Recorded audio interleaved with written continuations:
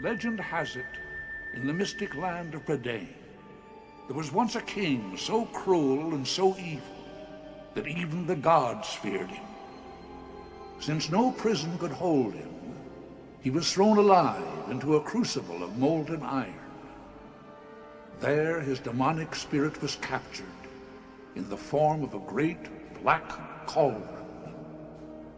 For uncounted centuries, the black cauldron lay hidden, waiting, while evil men searched for it, knowing whoever possessed it would have the power to resurrect an army of deathless warriors, and with them rule the world.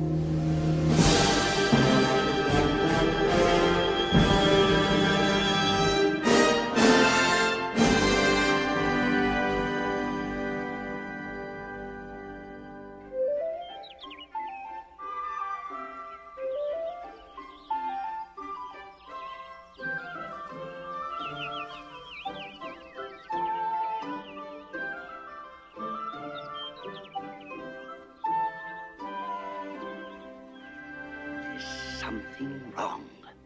I can feel it in my bones. And the fair folk know it too. You don't see any of them around. The Horned King.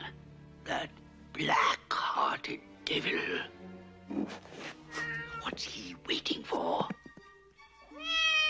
This, this, cat, I know you want your breakfast, but just now thinking is more important. Hmm. Oh, oh, Taran. The pot is boiling over, Taran. Oh, Dallben. I was just thinking. What if the war's over and I never had a chance to fight? Hmm. And a good thing, too. War isn't a game. People get hurt.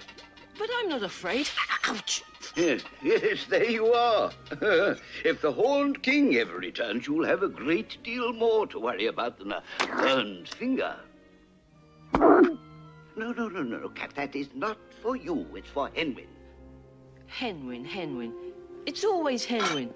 And one day, my boy, you may learn why.